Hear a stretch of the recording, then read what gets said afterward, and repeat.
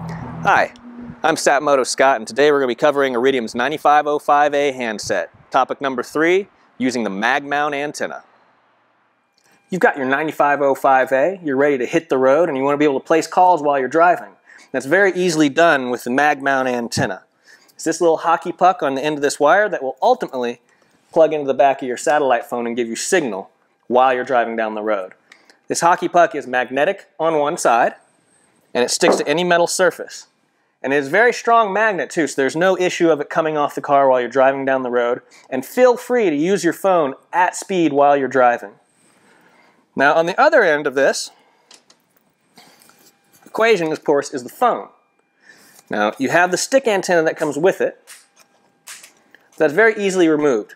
There's a little button on the top right here. You press like this, pops right off.